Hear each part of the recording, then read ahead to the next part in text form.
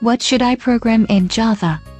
I've heard you can write a lot of things in it but do not know what type of application or program to create. If you can program in Java, you could write apps for the Android. Heck, write anything and everything for the Android. I know Java is used for the Android, which is in around 80% of the devices shipped at the end of 2013. However, Apple manages to make a lot more money from it. If I just learned Java I would be able to add functionality to websites and become a great web developer. And those web-based apps run on any device, or even a PC. JavaScript is primarily used to add functionality to websites.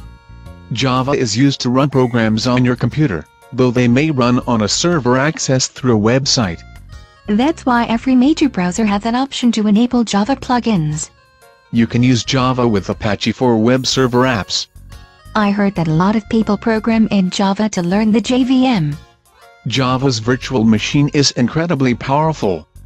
Other programming languages have actually been designed to use the JVM themselves. Java has been around for a long time. Should I learn something that will become obsolete? Java is growing in popularity due to Node.js. Node.js handles transactions faster and can handle more transactions simultaneously than PHP. Did not Walmart move to Node.js? Yes. So did PayPal. I'm concerned about the resources available for developing apps. Java has excellent IDEs for developing applications. And tons of online resources.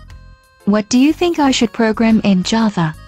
Websites, apps, server programs or what? Apps seem to be where the fast money is at.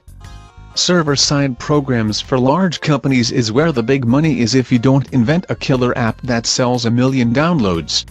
Like Bustin' Jiver? More like Angry Birds.